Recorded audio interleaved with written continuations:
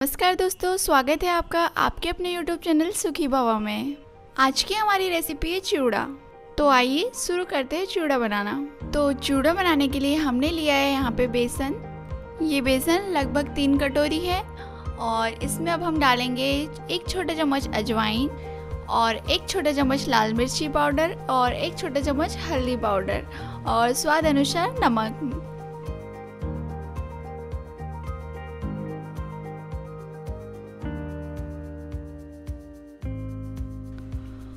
और साथ ही इसमें हम डालेंगे दो छोटे चम्मच तेल। ये ऑप्शनल है। और अब हम इस बेसन को अच्छे से दोनों हाथों की सहायता से रगड़ते हुए मिक्स कर लेंगे, ताकि इसमें सभी मसाले मिल जाए।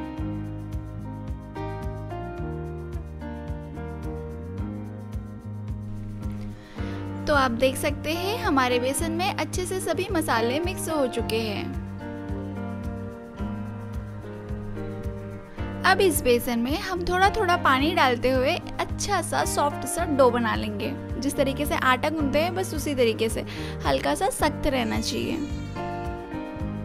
इस डो को बनाते वक्त याद रहे, ज़्यादा पानी ना डाले धीरे धीरे थोड़ा थोड़ा डाले, कहीं गीला ना हो जाए। तो आप देख सकते हैं, हमारा डो बहुत अच्छे से बन चुका है। अब इसको हम रेस्ट होने देते हैं। ये रेस्ट होता है जब तक हम हमारे पास जो जो ड्राई फ्रूट्स हैं, उन्हें फ्राई कर लेते हैं। तो इनको फ्राई करने के लिए मैंने ली यहाँ पे कढ़ाई। इसमें दो बड़े चम्मच तेल डाला है।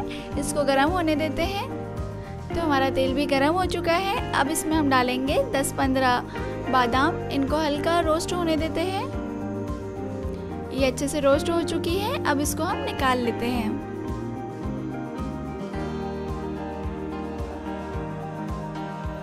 अब इसमें मैंने डाला है यहाँ पे एक छोटे कटोरी सूखा नारियल। कटा हुआ, इसको भी हल्का ब्राउन होने तक हम फ्राई कर लेंगे। ये अच्छे से ब्राउन हो चुका है, इसको हम निकाल लेते हैं।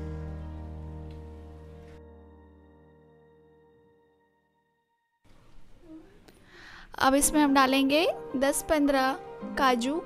इसको भी अच्छा सा, हल्का सा ब्राउन होने तक फ्राई कर लेते हैं। ये भी फ्राई हो गए हैं। अब इसमें हम डालेंगे किशमिश इनको भी फ्राई होने देते हैं। तो हमारे किशमिश भी फ्राई हो चुके हैं। अब इसमें मैं डालूँगी एक कटोरी फली दाने और इसको फ्राई होने के लिए थोड़ा टाइम लगेगा। तो हमारे फली दाने भी फ्राई हो चुके हैं।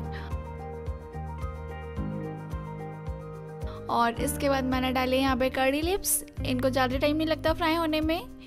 ये भी फ्राई हो गई। और इसके बाद मैंने डाली है यहाँ पे ये लहसुन की कलियाँ। ये भी फ्राई हो चुकी है। तो आप देख सकते हैं, मैंने यहाँ पे सभी ड्राई फ्रूट्स को अच्छे से फ्राई कर लिया है। इनको सबको फ्राई करने में ज़्यादा से ज़्यादा एक एक मिनट लगा है। अब इसी तेल में मैं पोहे को हल्का ब्राउन होने तक भून लूँगी। ये पोहा लगभग आधा के जी है।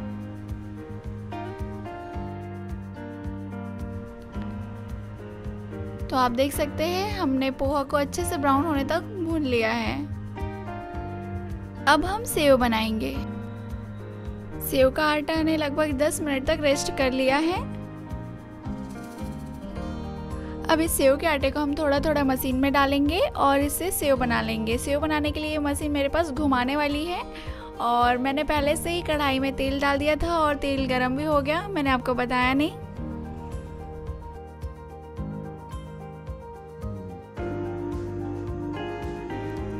और इस तरीके से हाथों से घुमाते घुमाते हम सेव बना लेंगे। मैंने यहाँ पे पतली सेव बनाई है, आप देख सकते हैं। इनको हम मीडियम फ्लेम पर अच्छा सा फ्राई होने देंगे। इसको हाई फ्लेम पर नहीं करना है, नहीं तो ये जल जाएगी। तो इसी तरीके से हम सारी सेव बना लेंगे और फिर मैंने मशीन में पपड़ी वाली छन्नी लगाई है और मैं यहाँ पे पपड़ी वाली सेव भी बना रही हूँ।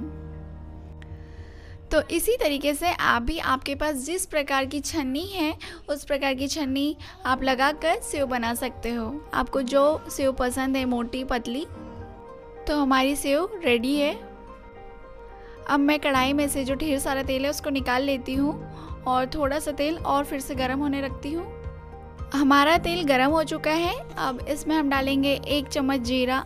इसको तड़कने देते हैं और इसमें हम डालेंगे एक कटा हुआ प्याज। ये ऑप्शनल है। अगर आपको पसंद हो तो डालिएगा, वरना मत डालिए।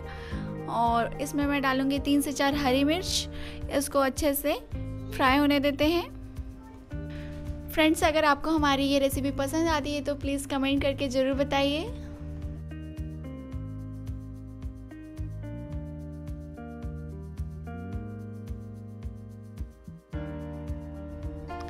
और लाइक कीजिए, ज़्यादा से ज़्यादा शेयर कीजिए। और चैनल को सपोर्ट करने के लिए सब्सक्राइब कीजिए। तो ये अब अच्छे से फ्राई हो चुका है। इसमें हम डालेंगे अब एक चम्मच हल्दी पाउडर और स्वाद अनुसार नमक।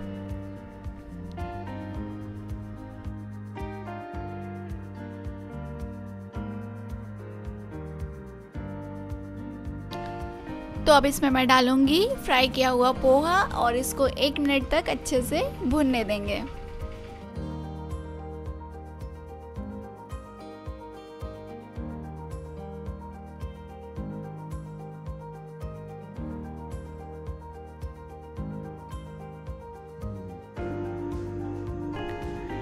तो हमारा पोहा भून चुका है। अब इसमें हमने पहले जो भी ड्राई फ्रूट्स को फ्राई किए हुए थे, इनको सबको मिक्स कर देंगे और अच्छे से घुमा लेंगे।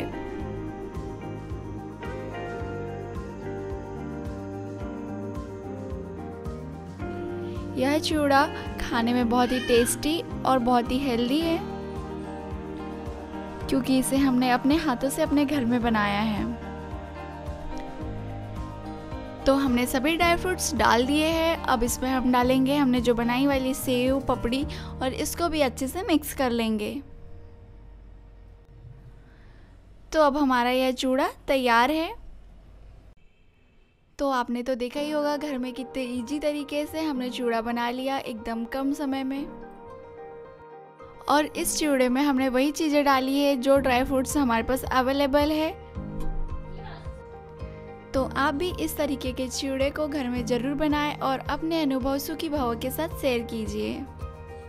तो मिलती हूँ फिर इसी तरह के एक नए वीडियो के साथ। तब तक के लिए नमस्कार।